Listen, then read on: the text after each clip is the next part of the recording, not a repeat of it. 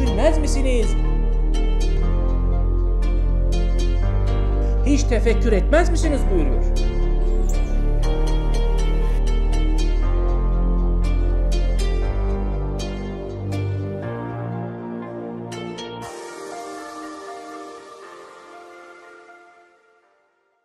Elhamdülillahi Rabbil Alemin.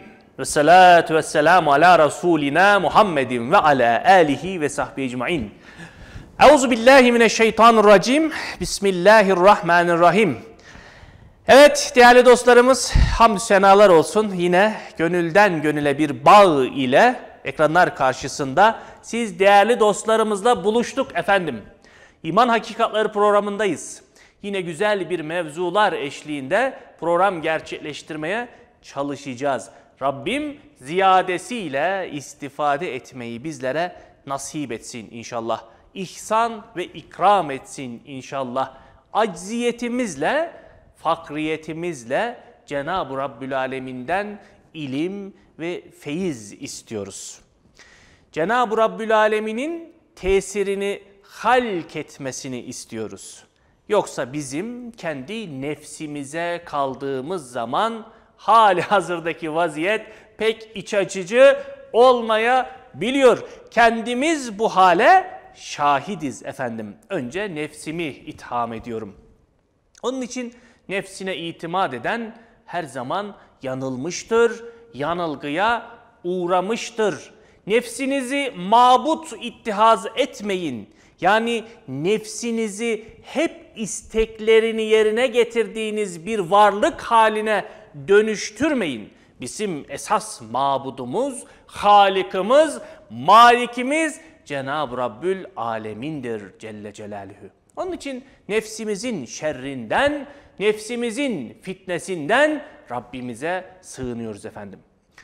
Tabi nefsimizin, şeytanın, şeytana hizmet eden insanların dış alemdeki üzerimize gelen baskıların altında müminler olarak elbette maneviyat cephesinde ciddi zararlar görüyoruz. Ciddi korozyona uğruyoruz. Gerek ibadet cihetinde gerek itikat cihetinde. Onun için korozyona uğrayan cihazların biliyorsunuz koruyucuya ihtiyacı vardır. Korunması gerekir onların dış etkenlere karşı. Aynen öyle de biz de itikat cihetinde, amel cihetinde dışarıdan gelen baskılarla o eksikliklerimizin yani bizi korozyona uğratan o hallerin bizim üzerimize gelmemesi için, bizi yıpratmaması için, bize zarar vermemesi için bizim de bir koruyucuya ihtiyacımız vardır. Elbette ki ve elbette o koruyucumuz, o büyüğümüz Cenab-ı Rabbül Alemin'dir. Alemlerin yaratıcısı, Halik-ı kainat, Halik-ı Zülcelal'dir. Amenna ve saddakna. Merhemi nedir efendim? Merhemi de İslamiyet ve İslamiyet'in içerisindeki sünnet-i seniye çizgisindeki Kur'an ölçüsündeki yaşayış modeli ve yaşayış tarzıdır. Herkes kendi aleminde hele iç aleminde bu korumanın altına girmek zorundadır. İslamiyeti yaşayalım efendim. İslamiyeti anlayalım. İslamiyetin hakkaniyetine, gerçeğine, doğruluğuna ne kadar muhtaç olduğumuzu bir idrak edelim ve İslamiyetin üzerimizdeki tesirinin uyguladıktan sonra nasıl bir şekilde bize pozitif yönde etki oluşturduğunun farkına varalım. İnşallah hep beraber birlikte bunu başaracağız. Bunu yapacağız. Bunu kendi şahsi alemimizde uygulayacağız. Harika derecede, mükemmel derecede psikolojik de insana bir terapidir. İslami düşünce, İslami itikat ve İslami yaşayış. İnsana dünyayı da ahireti de cennete çevirir bir iznillah. Onun için şu manadan uzaklaşmadan o mananın içerisine girerekten hayatımızın çizgisini hele elimizde fırsat varken, hele ölüm bize ulaşmamışken iyi bir şekilde değerlendirmeye çalışalım. Bedenimizden ruhumuz henüz çıkmamışken inşallah. Evet bugün yedinci sözden okuyacağız. Yedinci söz o kadar harika bir ders ki, kadar mükemmel bir ders ki anlatmakla ifade etmek yetmeyecektir. Onun için Diyanet yayınlarımızın içerisinde bulunan bu sözler mecmuasından da okuyup kendiniz de inceleyebilirsiniz. Burada ementü billahi ve bil yevmil ahiri manasının içine gireceğiz. Onun tefsirinin içine gireceğiz inşallah. Tefsir önemlidir. Tefsir niçin önemlidir? Bazı kesimler var ki tefsiri kabul etmeyebiliyorlar. Kur'an bize yeter, tefsire ihtiyaç yok diyebiliyorlar. Halbuki Kur'an o kadar külli bir kitap ki içerisindeki icaz ve icazıyla yani zatındaki mucizelik ve az sözle çok şey ifade etmesindeki o özün içerisine girilmesi gerekiyor. Yüzeysel, sat'i yani yetersiz kelimelerle Kur'an'ın ayetlerini ifade etmek, Kur'an'ın hakikatini ve hakkaniyetini ifade etmekte aciz kalacaktır. Onun için tefsire gerek yok denilebilir diyorlar. Bunu kabul etmiyoruz asla ve kat'a. Mesela geçenlerde şöyle bir münazara geçti bir arkadaşla aramızda. Dedim ki tefsire gerek yoksa bütün bilimsel kitapları ortadan kaldıralım o zaman. Ne alakası var dedi. Şimdi bana elma yeter. Elma ile ilgili elmayı anlatan, onun ziraatiyle, tarımıyla ilgili manaları anlatan kitaba ihtiyaç yok diyorsun sen şimdi. Mesela ahırdaki bir inek süt sağıyoruz, önüne yemi koyuyoruz. O zaman hayvancılıkla ilgili bütün bilimsel kitapları ortadan kaldıralım. Hayvancılığı anlatan bütün çalışmaları, bütün insanları ortadan kaldıralım. Sana inek yeter o zaman dedim. Ne alakası var? Elbette alakası var. Çünkü sen hayvancılığı, ziraati, kozmografyayı, bilim dallarını o bilim dallarıyla ilgili yazılan kitaplardan öğreniyorsun. O bilim dalları onu anlatan kitaplardır. Bugün meyvacılıkla ilgili yazılmış her bir kitap meyvacılığı bilimsel olarak o meyveyi harika surette anlatan eserlerdir. Bana ağaçtaki meyve yeter, onunla ilgili bilimsel çalışmaya veya onu anlatan kitaplara ihtiyaç yok dediğin zaman tefsire de ihtiyaç yok demekle aynı çizgide bir manadır bu. Ne kadar yanlış. O yüzden Kur'an-ı Kerim'in her bir ayeti icazıyla bakın, mucizeliğiyle ve icazıyla bakın, içindeki az sözde çok şey ifade etmesiyle kitaplarla her bir ayetini anlatsan yine yetersiz gelecektir. Çünkü kainat, bütün kainat Kur'an-ı Kerim'in içerisinde toplanmıştır. Zeynel Abidin Hazretleri ne diyor? Bak deverim yuları kaybolsa Kur'an-ı Kerim'den yerini bulurum diyor. Ayakkabınızın ipi kaybolsa Kur'an'da yerini bulabilirsiniz diyor. Çok ilginç. E hani nerede falan diyeceksin bu defa. Ya. Onun için nasıl maddi alemdeki objeleri, o kitaplar, bilim dalları anlatıyor, tarif ediyor. Biz o kitaplarla, o bilim dallarıyla o objeleri gerçek manada anlıyor ve kavruyorsak, Kur'an'ın ayetlerini de Bakın o tefsirlerle anlarız. Müfessirlerin yazdığı hak, bu işte ehil olan, hadislere hakim, olaylara hakim olan, ilimde kemal bulmuş o zatların o ayeti ifade etmesine bizim ihtiyacımız vardır. Çünkü o ayetleri, o İslami manaları, o İslami terimleri, o hadisleri biz başka türlü hak noktasında anlamakta aciz kalacağız efendim. Evet böyle bir girizgahtan sonra yedinci sözde duble bir temsil verilmiş. İnşallah temsili okuyacağız. Buradaki hikayeyi okuyacağız. Hikayenin de hakikatına programının sonuna doğru geçeceğiz. Bakalım hikayede bahsedilen hadiseler, olaylar, şahıslar neyi temsil ediyormuş? Bizlere ne mektup gönderiyormuş? İnşallah hep beraber bunu anlamaya çalışacağız inşallah. Buyurun yedinci söze. Şu kainatın tılsımı muğlakını açan, şu kainatın yaratılmış, şu gözümüz önünde gördüğümüz ve görmediğimiz alemlerin gizli sırlarını açan Âmentü billahi ve bil yevmil ahiri Allah'a iman ve ahirete iman, ruhu beşer için. Saadet kapısını fetheden ne kadar kıymetdar iki tılsım-ı müşkül küşa olduğunu insan ruhu için.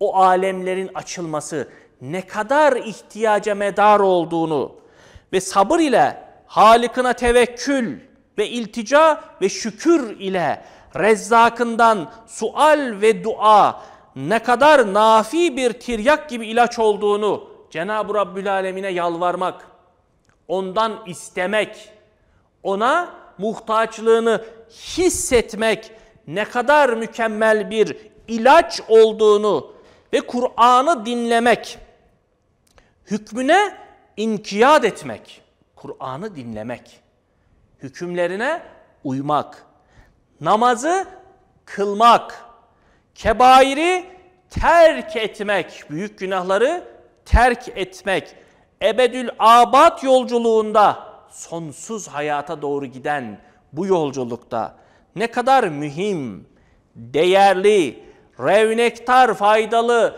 envai çeşit bir bilet, bir zad ahiret, bir ahiret azığı, bir nuru kabir olduğunu anlamak istersen, bir kabiri aydınlatan nur olduğunu anlamak istersen, şu temsili hikayeciye bak, dinle.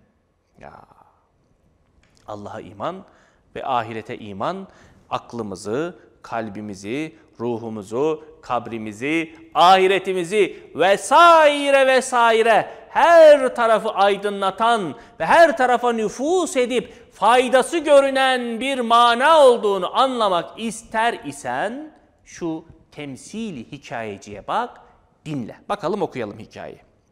Bir zaman bir asker meydan harp ve imtihanda bir imtihan ve harp zamanında bir asker kar ve zarar deveranında pek müthiş bir vaziyete düşer. Şöyle ki hmm, bir imtihan, bir harp, bir kazanmak veya kaybetmek zamanında o asker şöyle bir vaziyete düşer. Nasılmış o vaziyet bakalım. Sağ ve sol tarafından dehşetli derin iki yara ile yaralı. Hmm, şimdi hayalen, aklen şu hadiseyi zihnimizde bir tasvir edelim. Kar ve zarar devaranında, kazanmak veya kaybetmek zamanında, bir harp zamanında, bir savaş zamanında bir asker sağ ve sol tarafından yaralı. Ve arkasında cesim bir arslan, arkasında da büyükçe bir, irice bir arslan ona saldırmak için bekliyor gibi duruyor. Her an saldırabilir aslan. Hale bakın şimdi. Sağda solda yara, arkada büyük bir aslan ve devam ediyoruz. Ve gözü önünde bir dar ağacı dikilmiş, gözünün önünde de bir dar ağacı dikilmiş. Bütün sevdiklerini asıp mahvediyor, onu da bekliyor. Şu hale bakın. Nasıl dehşetli bir hal. Biraz hayal edelim bakın. Önünde de bir dar ağacı var. Sevdiklerini asmış. Onu da bekliyor asmak için. Hem bu haliyle beraber uzun bir yolculuğu var, sevk ediliyor. Allah Allah. Şu olaylara bak. Sağda solda yara, arkada büyük bir aslan saldırmak için bekliyor. Önde bir dar ağacı kurulmuş. Sevdiklerini asmış. Bunu da asmak için bekliyor. Sonra bir de yolculuk var. O yolculuğa bir anlamda gönderiyorlar. Temsile bakın şimdi. Ha birazdan bunların ne ifade ettiğini gayet güzel bir şekilde anlayacağız inşallah.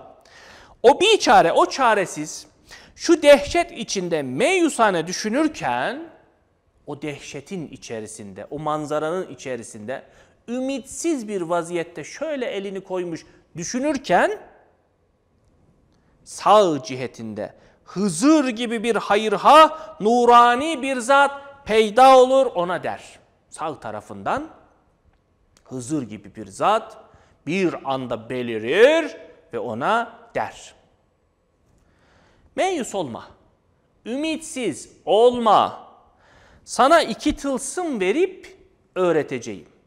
Ha, bak bir destek geldi. Ümitsiz olma bu hale bakıp da diyor. Şu görünen hale bakarsan görünüşte ümitsiz olursun. Ama ümitsiz olma.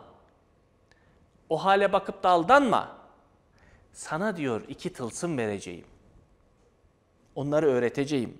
Güzelce istimal etsen, o verdiğim tılsımları güzelce kullansan, o sırları güzelce kullansan, o arslan sana musahhar bir ata dönüşür. Allah Allah. Bak. O zat diyor ki vereceğim tılsımları kullanırsan, uygulanırsan o arslan var ya arkadaki sana saldırmak için duran o arslan sana hizmetkar olan bir ata dönüşecek diyor. Ha, bakıyoruz şimdi. Çok ilginç. Hem o dar ağacı karşısında sevdiklerini asan ve onu da asmak için bekleyen o dar ağacı keyif ve tenezzü için hoş bir salıncağa döner. Arslan ata döndü, tehdit unsur olan arslan. O onu asacak olan dar ağacı da seni eğlendiren bir salıncağa dönüşecek birden diyor. Hem sana iki ilaç vereceğim, ekstradan iki de ilaç vereceğim. Güzelce istimal etsen, o ilaçları güzel bir şekilde kullansan, o iki müteaffin yaraların, o sağındaki ve solundaki o sana zarar veren ağırlaşmış, kokuşmuş yaraların iki güzel kokulu Gül Muhammedi denilen aleyhissalatü vesselam latif bir çiçeğe inkılap eder, dönüşür. Aa çok güzel, harika bir şey. İki de ilaç vereceğim sana diyor. Onları bir kullan. O sağındaki solundaki o dehşetli yaralar Gül Muhammedi denilen Efendimiz Aleyhisselatü Vesselam'ın gül kokusu denilen o güzel, mükemmel derecede kokan bir yaraya da dönüşecek. Kokuşmuşluktan gül kokan bir çiçeğe dönüşecek yaraların diyor. Ne kadar güzel bir şeymiş bu ya. Ne kadar harika bir ilaçmış bu bakın. Zihnen, bilinç olarak görünüşteki hadiseler bizim itikatımızı, dayanma gücümüzü, aklımızı, kalbimizi korozyona uğratırken hayır ha, hayırlarla dolu bir zat çıktı geldi sağ taraftan. O kötü görünen halleri birden değişebilecek bir hale çevirdi bakın. Ama kullanırsan diyor. Hassas nokta burası. Kilit nokta burası. Hem sana bir bilet vereceğim. Teklif devam ediyor bak. Sana bir bilet vereceğim. Onunla uçar gibi bir senelik yolu bir günde kesersin. O bileti diyor alsan, o bir senelik gideceğin yolu bir günde geçersin. Ne kadar süper olur değil mi ya? Şimdi Türkiye'nin bir ucundan bir ucuna otobüsle gitmek var. Bir de uçakla gitmek var. Kalkıyorsun, iniyorsun. Bu kadar. Bitti yani bakın. O çileli iki günlük, üç günlük yolculuk bir anda birkaç saatlik yolculuğa dönüştü. Ne kadar sevinir insan. Aynen onun gibi de güzel bir teklif var burada. Sana bir bilet vereceğim. Bir senede gideceğin yolu bir günde gideceksin diyor. İşte eğer inanmıyorsan bir parça tecrübe et. Şu söylediklerime inanmıyorsan dene bakalım diyor. Ne olacak? Arslan ata dönüşecek mi? Dar ağacı salıncağa dönüşecek mi? Bir dene. Yaraların kokuşmuşluktan kurtulup gül gibi kokmaya başlayacak mı? Bir dene. Buyur. Dene diyor. Ta doğru olduğunu anlayasın. İddialıyım. Söylediklerim mutlaka karşına çıkacaktır. Doğru söylüyorum. Denersen doğru olduğunu göreceksin diyor. Maşallah, barekallah. Hakikaten bir tar parça tecrübe etti o asker doğru olduğunu tasdik etti. Hmm. Denedi, baktı arslan ata dönmüş, dar ağacı salıncağa dönüşmüş, yolculuk o uzun yolculuk bir anda gidilen bir yere dönüşmüş, yaralar kokuşmaktan kurtulmuş. Ah diyor tamam doğru söylüyormuşsun. Doğru söylüyormuşsun. Evet ben dahi bunu tasdik ederim çünkü biraz tecrübe ettim pek doğru olduğunu gördüm diyor Bediüzzaman Hazretleri de. Çünkü neden? Geçmiş zatların, alimlerin, İslamiyet'i yaşatan, yaşayan o zatların bilhassa Cenab-ı Rabbül Alemin'in göndermiş olduğu peygamberlerin hayatlarına bakıldığı zaman dediklerini yapmaları, yaşamaları meyvelerini ne yapmış? Göstermiş. Göstermiş yani. Bir anda hayatın boyutu değişebiliyor. Değil mi yani? Bak taştan deve çıkar diyorlar Salih Aleyhisselam'a. Taştan deve çıkar mı ya? Normal bir şey mi sizce bu? Ama çıkıyor. Çıkıyor. Musa Aleyhisselam'a asanı vur bakalım diyorlar su çıkacak mı? Vuruyor 12 çeşme birden akmaya başlıyor. Normal mi sizce bu? Değil. Onun için hani geçmiş zatlar iddia etmişler, ispat etmişler. Efendimiz Aleyhisselatü Vesselam parmaklarından su akıtıyor. Normal mi? Parmaktan kessen kan akar, su mu akar? Ama çeşme gibi su akmış. Bir ordu doyuyor onunla bakın. Ayı ikiye bölmüş. Bugün NASA ayın üzerinde karpuz gibi bir çatlağın olduğunu fotoğraflandırdı bakın. Diyor sanki ay yarılmış, tekrar birleşmiş gibi bir çatlak var etrafında diyor. E? Ve inşakkal kamer diyor. Ay ikiye yarıldı diyor Kur'an-ı Kerim'de. Ayet var. E, Siyer-i Nebevi'de Efendimiz Aleyhisselatü Vesselam'ın inanmayan müşriklere mucize göstermek için ayı yardığı anlatılıyor. Bak o gün yaşanmış. Mucizatı Kur'aniye bunu çok güzel bir şekilde, belagatlı bir şekilde ifade etmiş.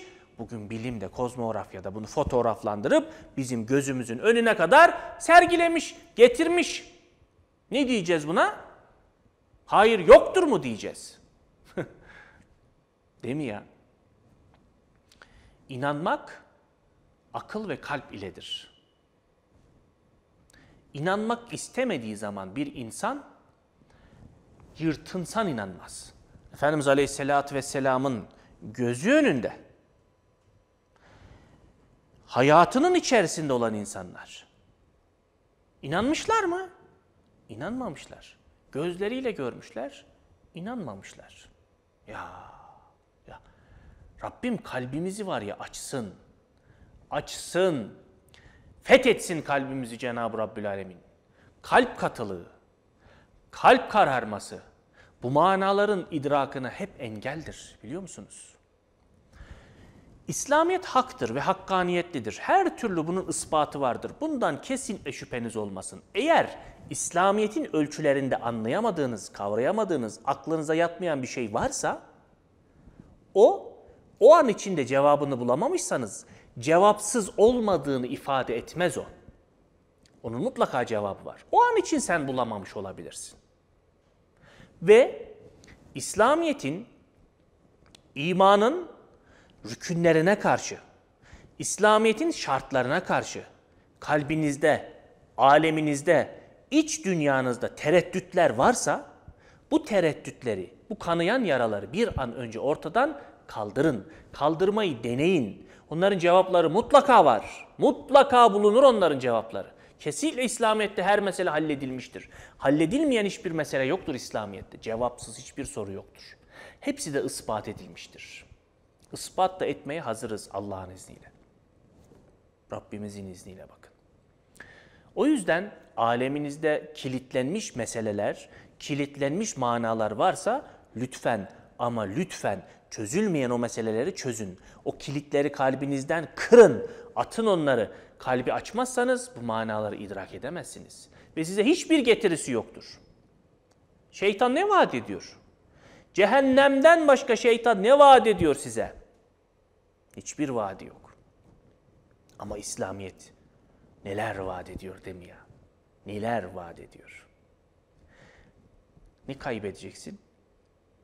Nefsimizin ibadeti yapma gafletinden dolayı şeytanın kayığına binip de biz İslamiyet'in mükemmel tekliflerini elimizin tersiyle mi iteceğiz? Şeytana karşı, vaadi olmayan şeytana karşı. Hadi vaadi olsa anlarım. Kabul edelim. Hadi bakalım. Bir vaat sen ne teklif ediyorsun? Şimdi birazdan bunu okuyacağız. Burayı onu okuyacağız şimdi bakın. Şimdi şeytan devreye girdi. Hızır gibi o zat teklifleri sundu askere, temsilde. Şimdi sıra şeytana geldi. Şeytan boş durur mu? İşini o da yapacak. İşinin ehlidir ha. Hayatta üşenmez. İnsana çok benzemez yani. Gaflet etmez. 24 saat çalışır. Hem de batıl bir cehennem uğruna. Batıl inançları ve gireceği cehennem uğruna. Batıl bir cehennem uğruna ters oldu laf. Haktır cehennem. Batıl inançları ve mutlak vaat edilmiş cehennem uğruna insanları kandırmaya devam ediyor. Vay be ne hırstır bu ya. Allah Allah şu hırsa bakın. ne kadar enteresan bir şey değil mi ya? Adam ateşe girmek için hayret ya. Bundan sonra birden gördü ki o asker temsile devam edelim. Sol cihetinde, sol tarafında şeytan gibi dessas, kandıran, ayyaş, aldatıcı bir adam, çok zinetler, böyle çok süslü şeyler, çok süslü suretler, fantaziyeler, şöyle nefsin hoşuna gidecek görüntüler, müskirlerle beraber o kötü yasaklanmış içeceklerle beraber geldi. Karşısında durdu, ona dedi. Bak bak bak, getirdiği şeylere bak. Haram görüntüler, nefsani eğlenceler, içilmesi yasak edilmiş içkilerle geldi, dikildi. E şimdi hayır ha bir zat güzel tekliflerde bulunur da şeytan boş kalır mı? O da tekliflerini sunmak için geldi. E hayatımızın içerisinde zaten hep bu iki tekliflerin arasında kalmıyor muyuz? Kalıyoruz. Nefis diyor. Otur şurada yat mis gibi otur. Ruh diyor meleki ilham ya ezan vakti kalk namazını kıl vakit çıkmak üzere diyor. Bak hep ikilemin arasındayız. Seni kurtaracak bir eserin olmadığı takdirde fani dünyada bıraktığın eserlere de kıymet verme diyor melekit ruhaniyat bakın. Ahirette seni kurtaracak bir eserin olmadığı takdirde fani dünyadaki eserlere kıymet verme. Ne işe yarar onlar seni ahirette kurtarmayacak olduktan sonra? Ölümlü dünya. Tekliflere bak. Şeytan da diyor ki boş ver bakalım şeytan ne diyormuş şimdi. İkilemin arasında hep müminler olarak zaten oldum bittim imtihan sırrından dolayı kalıyoruz. Bakın şeytan şimdi devreye girdi. Hey arkadaş gel gel beraber işlet edip keyif edelim. Biri diyor şu duayı oku şu zikri yap. Öbürü diyor gel gel diyor gel gel bakalım gel. Beraber diyor içelim eğlenelim. Şu güzel kız suretlerine bakalım. Şu güzel gezinen kız suretlerine bakalım. Şu hoş şarkıları dinleyelim. Var ya isyan, kaderin böylesine bilmem ne olsun falan. Allah muhafaza etsin ya. Ben böyle kaderin. Aa, şuna bak ya. İsyan dolu şarkılar. İsyan. Dünyaya ben mi geldim istekmekle falan. Oo, neler neler değil mi ya? Allah muhafaza etsin. Şu hoş şarkıları dinleyelim. Şu tatlı yemekleri yiyelim. Teklifle geldi bak. Ya. Sual. Şeytan şimdi askerin başına geçti. Soruyor. Ha diyor. Nedir ağzında gizli bir şeyler okuyorsun? Ne o okuduğun diyor şeytan. Asker cevap veriyor. Bir tılsım, bir sır. Onu okuyorum. Bırak şu anlaşılmaz işi. Hazır keyfimizi bozmayalım. Özür dilerim ya valla. Hani gerçekten gülmekten kendimi tutamadım ya. Çok ilginç bir şey. diyor ki nedir o okuyorsun ağzında bir şeyler? Bir tılsım diyor. Bırak şu anlaşılmaz işi. Hazır keyfimizi bozmayalım. Konumuzun başlığı da olsun bugün. Hazır keyfimizi bozmayalım mı? Çok güzel. KJ'miz bu olsun inşallah bugün. Hazır keyfimizi bozmayalım mı? Evet, bozmayalım mı? Bakalım şeytana göre bozalım. Yani şimdi. Evet.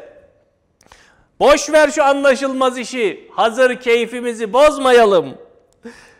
Sual şeytan soruyor şimdi. Ha diyor şu ellerindeki nedir? Şimdi Hızır gibi hayır hak zatın verdiği şeyler onlar. Birini okuyordu, birinde elinde nişane vardı. Şu ellerindeki nedir? Bir ilaç. Cevap veriyor asker. İlaç, ilaç diyor. At şunu sağlamsın. Neyin var? Alkış zamanıdır şimdi diyor. At onları sağlamsın. Neyine gerek ilaç? Alkış zamanıdır. Bırak ellerini diyor. Alkış çırpacağız şimdi. Şap şap şap öttüreceğiz ellerimiz diyor. Sonra şeytan sormaya devam ediyor bakın. Ha diyor şu beş nişanlı elindeki kağıt nedir? Beş tane üzerinde nişan bulunan o elindeki kağıt nedir? Soruyor şeytan. Bir bilet, bir tayinat seneti. Yani beş vakit namaz. Beş nişanlı bilet. Neydi bilet?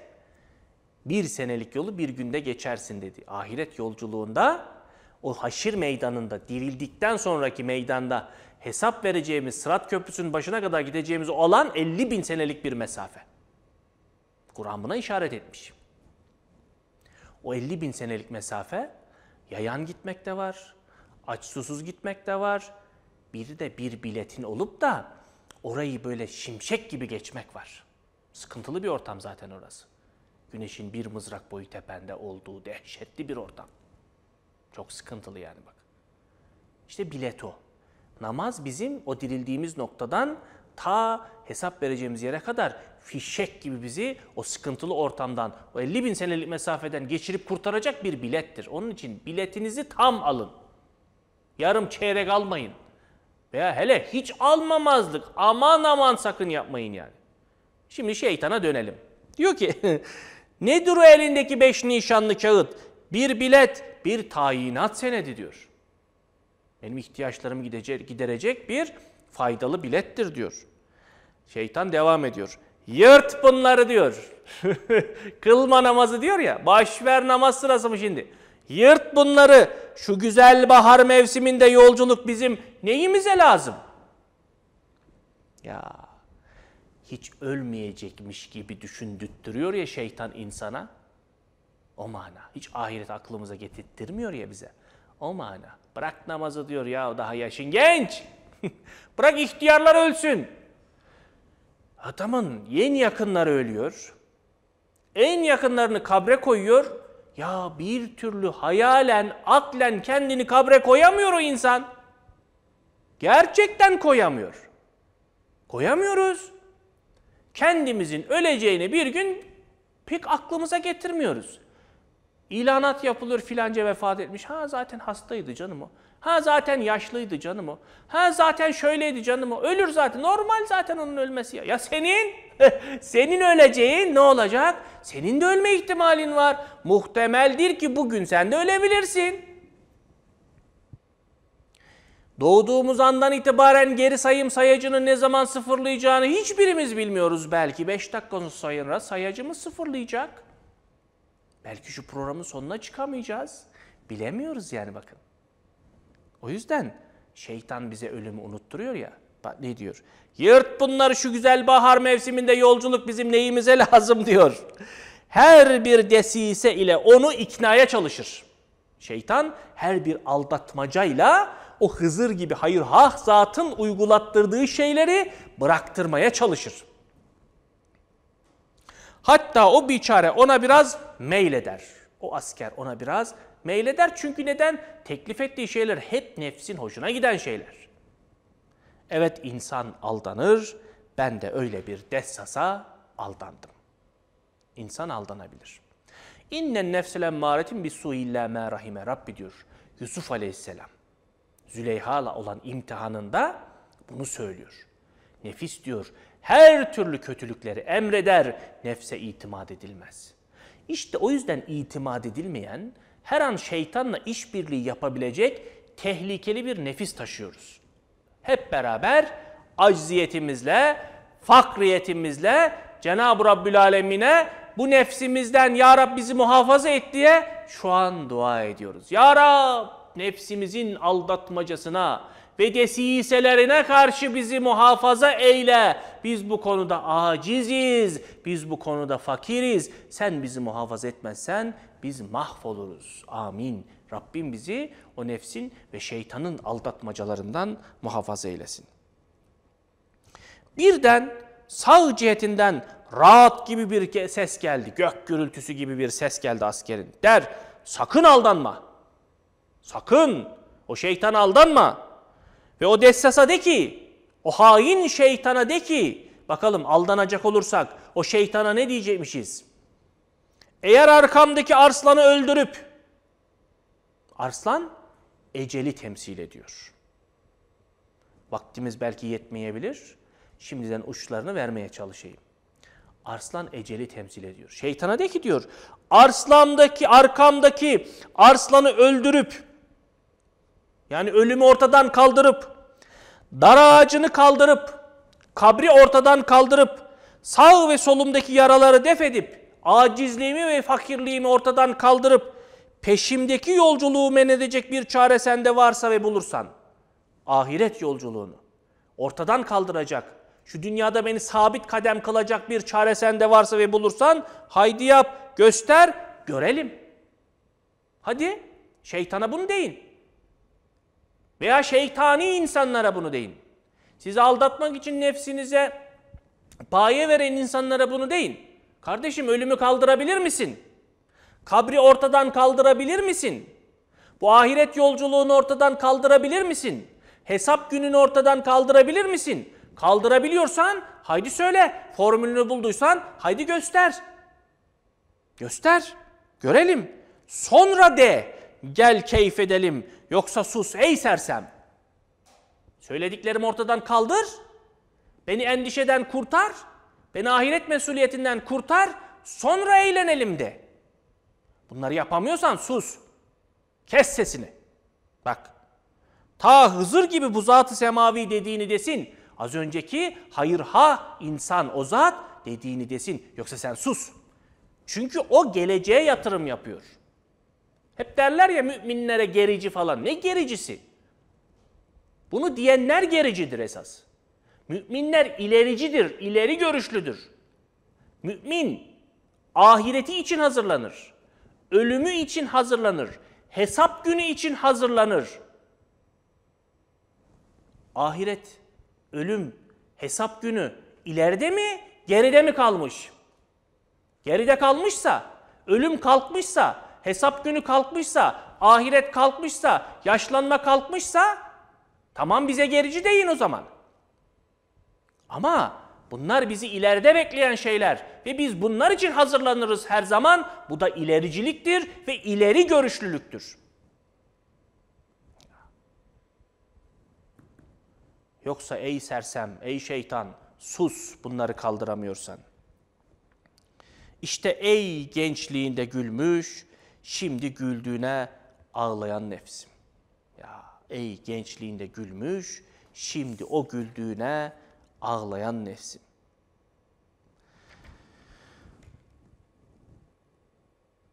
O biçare asker ise sensin ve insandır. Temsildeki asker bizmişiz. Ve o arslan ise eceldir. Ve o dar ağacı ise ölüm ve zeval ve firaktır ki gece gündüzün dönmesinde her dost veda edip kayboluyor. Kabir. Ne dostlarımız aldığı içerisine değil mi ya? Ne büyüklerimizi aldığı içerisine. Ve o iki yara ise birisi muciz ve hadsiz, aczi beşeri, diğeri elim nihayetsiz, fakrı insanidir. Acizlik ve fakirdir o yaralar. Ve o nefi ve yolculuk ise alem ervahtan, rahm-ı maderden, sebavetten, çocukluktan, gençlikten, ihtiyarlıktan, kabirden, haşirden, berzahtan geçen ahiret yolculuğudur. Ve o iki tılsım ise Cenab-ı Hakk'a iman ve ahirete imandır. Allah'a iman ve ahirete iman. Bize ilaç gibi olan tılsımlar bunlardır. Allah'a iman ve ahirete iman. Rabbine iman edersen ahirete zaten iman edersin. Rabbine iman eder de ahirete iman edersen zaten dünyada dediklerini yaparsın. Rabbine iman eder, ahirete iman ederse Allah müntakimdir, intikam alıcıdır dersin. Ben bu dünyada o kadar zarara uğradım, o kadar zarara uğratıldım ki zalimler zulmettiler her noktada. Değil mi ya? Ne kadar şehitlerimiz var. Evladı şehit olmuş validelerin o kalbinin çınlayışına bir kulak verin. Semavat titreyecektir o kalbin çınlayışından, inleyişinden. Bu zalimler şimdi benim evladımı şehit edecek. Sonra kendisi de geberip gidecek. Hesap kalacak ha ortada. Hey hey yok öyle bir şey. Yok öyle bir şey. Rabbim var ve ahiret var. Zalim izzetinde, mazlum zilletinde bu dünyadan göçüp gidiyorlar. Demek ki bir mahkemeyi kübraya bırakılıyor. Zalim zulmediyor, mazlum eziliyor. İkisi de bu dünyadan hesap görmeden göçüp gidiyorlar.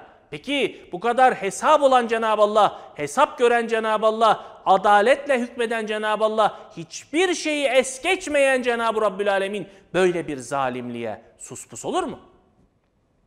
Mutlak adaleti, mutlak hikmeti, mutlak dengesi Cenab-ı Rabbül Alemin'in ahirette hesap gününün olacağının delilidir. Çünkü bu kadar zalimliğe Cenab-ı Allah suspus olmaz yani. Suspus olmaz. Ya. İşte ey tembel nefsim, beş vakit namazı kılmak, yedi kebairi terk etmek ne kadar az ve rahat ve hafiftir. Neticesi ve meyvesi faydası ne kadar çok mühim ve büyük olduğunu aklın varsa bozulmamışsa anlarsın. Ve fısk ve sefahate seni teşvik eden şeytana ve o adama dersin. Eğer ölüm öldürüp zevali dünyaya izal etmek ve aczi ve fakrı beşerden kaldırıp kabir kapısını kapamak çaresi varsa söyle dinleyelim. Yoksa sus. Kainat mescidi kebirinde Kur'an kainatı okuyor ve onu virdi zeban edelim. Evet söz odur ve ona derler. Hak olup haktan gelip hak diyen ve hakikati gösteren ve nurani hikmete neşreden ancak ve ancak odur. O kadar. Evet, bize ayrılan sürenin yine sonuna gelmiş bulunuyoruz. ne yapalım? Ömür de geçiyor, zaman da geçiyor, programda bize ayrılan sürede mutlaka geçiyor. Onun için haftaya aynı saatte ve yine güzel mevzular eşliğinde buluşmak ümidiyle sağlıcakla ve esen kalın efendim. Hiç düşünmez misiniz? Hiç tefekkür etmez misiniz buyuruyor.